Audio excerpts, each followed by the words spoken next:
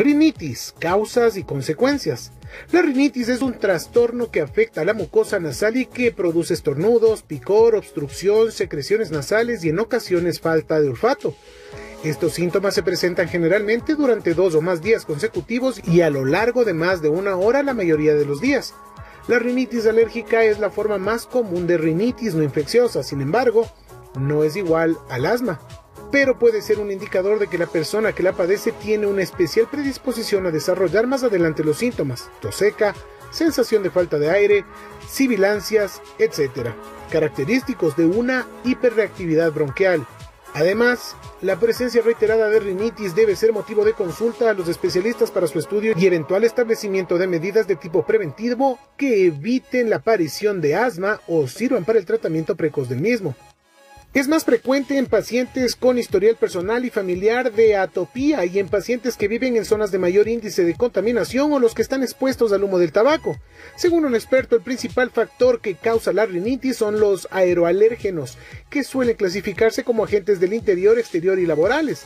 En caso de los primeros, los más importantes son los ácaros del polvo doméstico, unos parásitos más pequeños que la punta de un alfiler que se encuentran por centenares en el interior de los colchones y alfombras de las casas, así como la saliva u orina de animales, gatos, perros, hámsters. Los agentes del exterior son algunas especies de hongos atmosféricos y pólenes. Por último, la rinitis laboral surge como respuesta a un agente que se transporta por el aire y que está presente en el lugar de trabajo puede deberse a una reacción alérgica o a la respuesta de un factor irritante. La rinitis estacional aparece con la llegada del polen. Los afectados pueden notar en la nariz, el paladar, la parte posterior de la garganta y los ojos un picor que empieza de forma gradual o bruscamente. Por lo general, los pacientes presentan ojos llorosos, estornudos y la caída de aguilla clara por la nariz. La principal acción para prevenir la rinitis es evitar el polen evitar las horas del día donde las cantidades de polen son más altas, especialmente las horas de la mañana.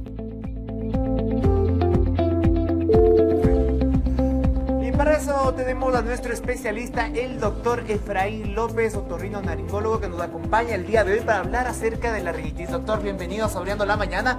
Y empecemos un poco hablando cómo detectar que una persona tiene rinitis, sobre todo pues a, tempranas edades, para que los padres estén atentos y, tengan pues ese cuidado con los hijos, cómo detectarlo que a tiempo, sobre todo esta enfermedad. Chévere, buenos días primero y chévere estar aquí otra vez. La rinitis es una una inflamación de la nariz. La inflamación comienza a dar signos, puede ser desde los dos años o un poquito antes. Es los casos de niños que los padres piensan que siempre están con gripes, las gripes frecuentes. O cada rato mi niño está con gripe, con ojos llorosos, con, con moquera. Entonces, cuando un niño presenta una gripe cada dos meses, cada tres meses o con un poco, un poco más de frecuencia, siempre es bueno hacer ya un examen con otorrino, porque la rinitis es algo que se puede tratar ya que si no se trata esta misma congestión, dificultad para respirar, puede afectar a lo largo de la vida del paciente.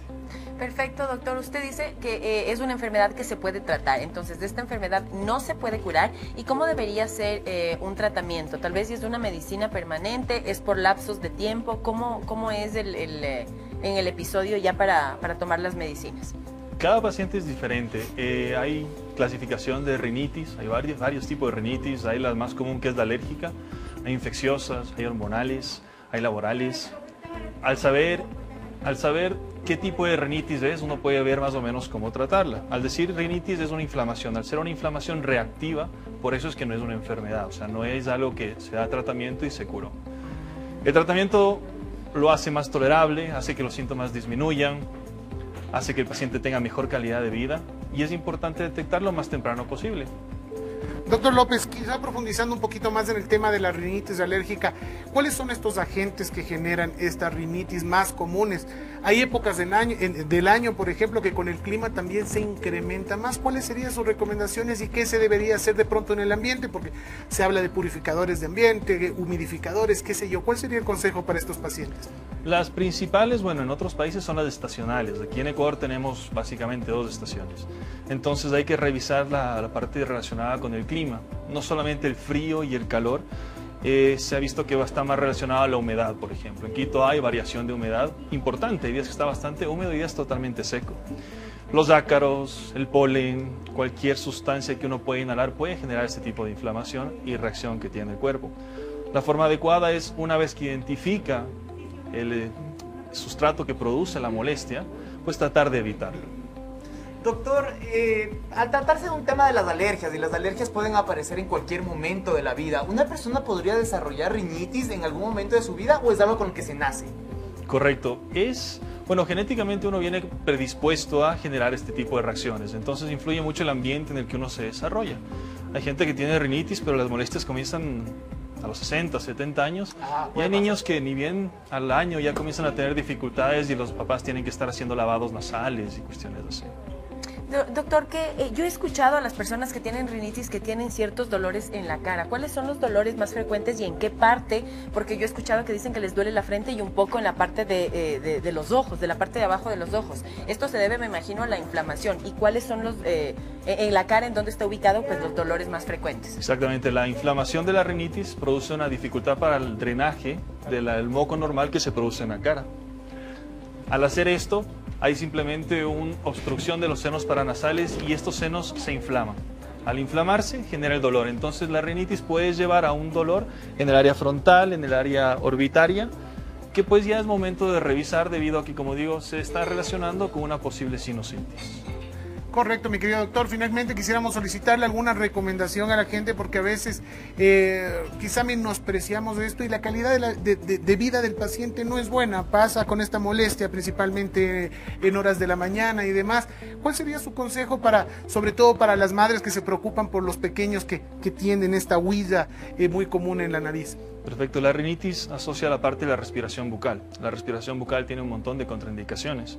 Entonces, si desde pequeño ven que el niño está respirando con la boca con frecuencia, si ronca, si al dormir siempre tiene la boquita abierta, es un buen motivo para consultar. A veces puede tratarse una rinitis leve que con un tratamiento el niño comienza a respirar por la nariz y listo, o a veces puede llegar hasta cierto tipo de cirugías no de rinitis, sino de adenoides y cosas relacionadas, para ventilar mejor. Recuerde que si uno no ventila bien, hay el problema de que el desarrollo facial también puede haberse afectado. Perfecto, agradecemos al doctor Efraín López por estar junto a nosotros, dándonos todas las recomendaciones, cualquier duda, los números de- salieron acá abajo en pantalla. Agradecemos nuevamente su presencia, querido doctor.